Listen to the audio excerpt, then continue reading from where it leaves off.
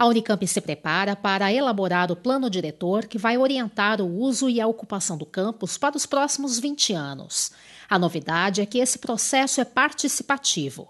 A comunidade toda foi convidada para iniciar o debate em um seminário em novembro no Centro de Convenções. É um trabalho bastante intenso e, e certamente toma um tempo, né? mas é uma maneira sólida de se construir um plano diretor que atenda ao interesse da maioria e que seja apoiado, porque nós tivemos experiências na Unicamp mesmo de discussão de plano diretor que não vão para frente justamente porque não tem o apoio da comunidade ou de segmentos da comunidade. Então a ideia dessa vez é fazer de uma forma participativa e é assim que ele está sendo encaminhado. A Unicamp teve início com um plano diretor, na época do reitor Zeferino Vaz, mas ele foi seguido até um ponto.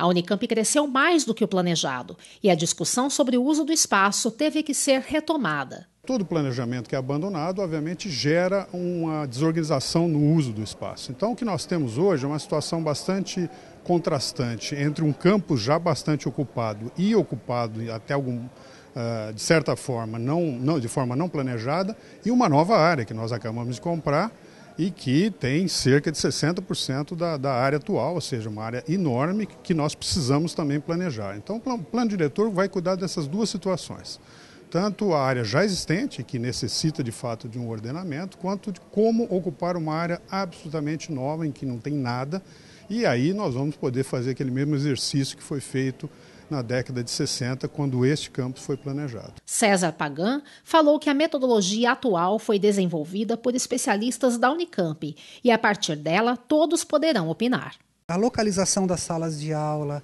a relação das salas de aula com os equipamentos universitários, desde bibliotecas, e agora a gente tem que pensar em internet também, até, por exemplo, onde que as pessoas eh, se reúnem, convivem, ou tomam seu cafezinho, ou, ou enfim, que tipo de, de trânsito que a gente quer na universidade? Será que a gente prefere ainda o transporte individual, do tipo do automóvel, ou a gente quer formas mais sustentáveis?